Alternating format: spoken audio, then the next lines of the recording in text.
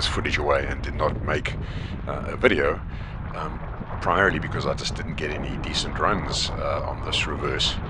Um, but I didn't throw it away because, well, number one, there were some quite hectic conditions, particularly after the lighthouse, where there's sustained periods of uh, mid 30 knot uh, gusts. And then a strange thing happened is I ended up having four broaches all quite close together uh, which I really don't understand. Uh, so I'll speak a bit more about that. Um, in terms of not getting any decent runs, it's primarily uh, due to lack of boat speed, which is lack of fitness.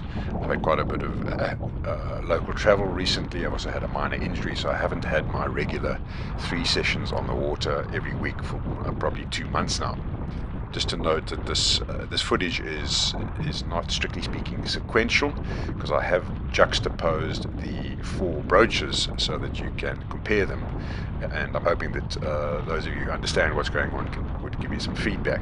As far as I can make out my rudder is not in aerated water so I don't understand why my nose is not swinging left since the wind is coming over my right hand shoulder.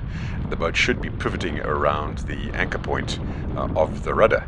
Uh, and granted, I haven't got much boat, boat speed in each of these instances, but I did have my rudder jammed hard left and I was just getting absolutely no response.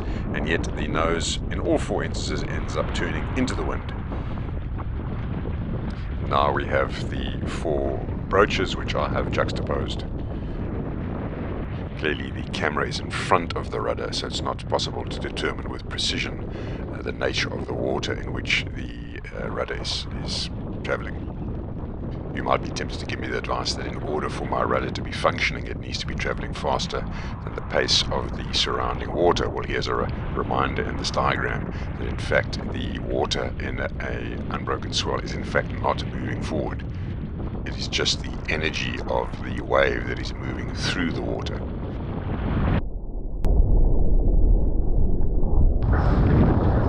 So there you have it, four broaches all within the space of about 10 minutes.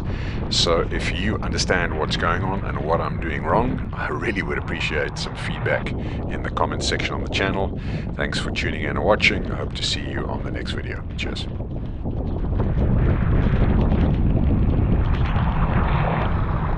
That's uh, Tim Powell who's come uh, cruising past me. No doubt he started well, well after I did.